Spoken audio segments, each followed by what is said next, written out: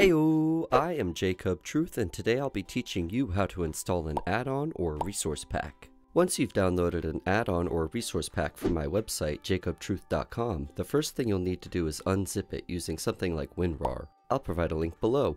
Next, you'll simply find the file ending with .mcaddon or .mcpack. Usually they will have a Minecraft grass block as the icon.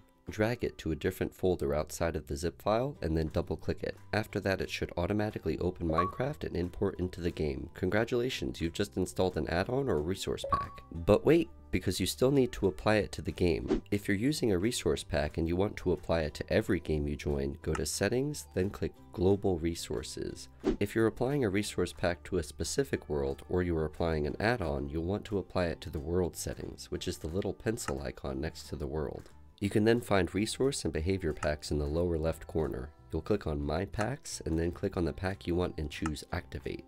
The game will prioritize the packs highest on the list, and packs lower on the list may be overwritten by packs above them, so if one is really important to you, you should put it at the top of the list. Usually, when you apply a behavior pack that is part of an add-on, the corresponding resource pack should automatically activate when you do the behavior pack, and the opposite is also true. Once your pack is activated, you're usually ready to play. For some specific add-ons, you may need to activate experimental features. They can be found in the game section.